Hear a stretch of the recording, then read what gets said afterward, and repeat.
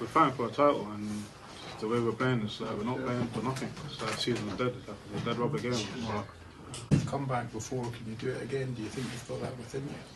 so you just got to get back to having that belief that we can. I think back then we had the togetherness, we had the belief. We still have the togetherness, but I don't know if the belief's there at the minute. And I think everyone's got to switch their mind to have that belief that we can actually do this. The league, we have five games left. It's five cup finals, and hopefully the fans can push us to get through them. Do do you owe the fa- fans and the manager a performance on Sunday?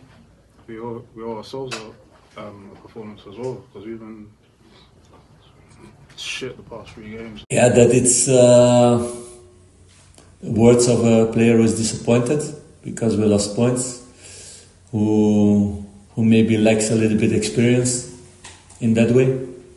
Uh, if I see Virgil van Dijk giving a press interview yesterday after the game, it's totally different, and that's the way it should.